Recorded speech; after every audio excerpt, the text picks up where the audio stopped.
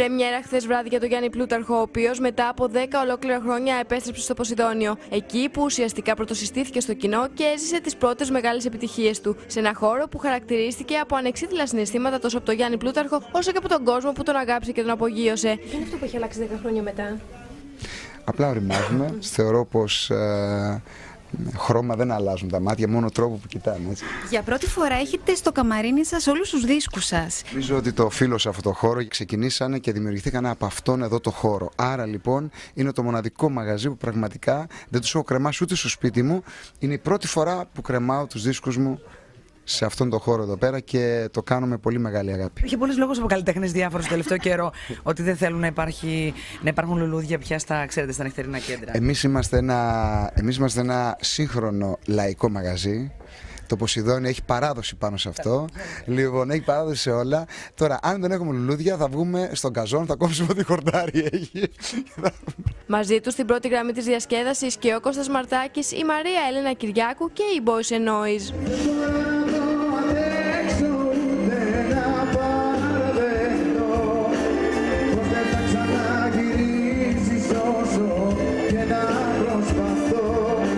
Να το ξεπεράσει το άγχος.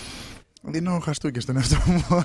Χτυπιέμαι λίγο, ξέρεις, να, να ξυπνάμε. Ναι, ναι, ναι, ναι, ναι, ναι. Λίγο, ναι, λίγο έτσι να ζητώνουμε πριν πούμε. Είναι η πρώτη φορά που θα κάνεις κάτι που θα είσαι μόνος σου, που θα, είναι, θα έχεις το ρόλο του κεντρικού παρουσιαστή. Μου έχει παραδοθεί και επιλεχθεί για μένα ε, μια πολύ πολύ δυνατή ομάδα από πολύ δυνατούς συντελεστές και νιώθω πολύ πολύ μεγάλη ασφάλεια. Δηλαδή ήδη από τις πρόβες νιώθω πολύ πολύ έτοιμος και περιμένω γιατί το αγαπώ πάρα πολύ το παιχνίδι. Ήταν δική μου ιδέα το να γίνει αυτό και χαίρομαι πάρα πολύ που μου δίνεται η ευκαιρία να Σε το κάνω και αγχώνει. να το παρουσιάσω κιόλας. Η δουλειά μου είναι τραγουδιστής, δεν αλλάζω επάγγελμα. Αυτή είναι η κυρία δουλειά μου. Αυτό το κάνω γιατί αγαπώ πολύ την τηλεόραση. Μα δεν είναι να, τσα- να η εικόνα μου να είναι πολύ προσεκτική, πώς μιλάω, πώ. Άνθρωπος είμαι κι εγώ, όπως είναι όλος ο κόσμος. Όλοι τις πετάμε τις κοτσάνε.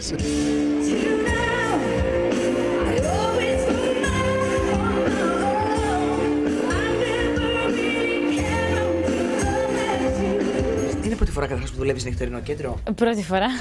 Έχεις άγχος λίγο επειδή είναι η πρώτη σου βραδιά σήμερα ουσιαστικά στην Η αλήθεια είναι ναι. Ίσως να έχω περισσότερο άγχος από ό,τι είχα στη Eurovision. Με το συνεργάτη σου είστε και ζευγάρι κτλ. Πώς; διαβάσει αυτά; Ε, δεν διαβάζω η αλήθεια. Δεν ισχύει τίποτα από όλα αυτά. Είναι μαέστρος μου, είναι το δεξί μου χέρι, παίζει- μου παίζει πιάνο. Ε, αυτά. Γράφουμε τραγούδια μαζί.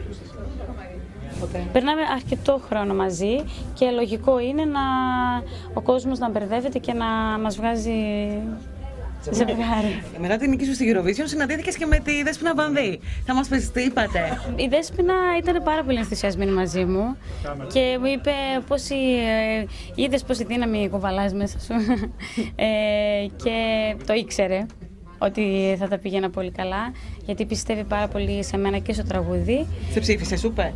Φυσικά. Είχε κάνει, είχε διοργανώσει πάρτι στο σπίτι της η Δέσποινα και κάλεσε φίλους για να, να, είσαι- να είναι σίγουροι ότι θα με ψηφίσουν